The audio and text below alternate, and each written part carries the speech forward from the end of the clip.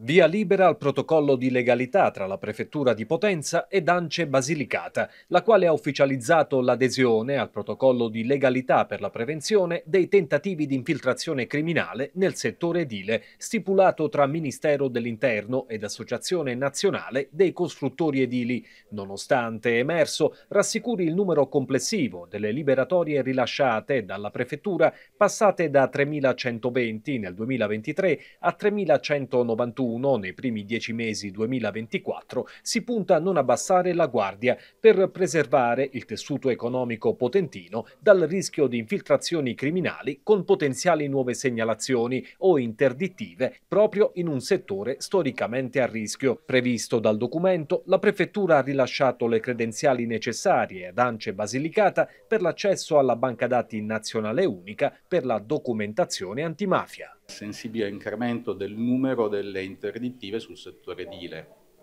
Nel 2023 sul totale complessivo di 19 misure di prevenzione amministrativa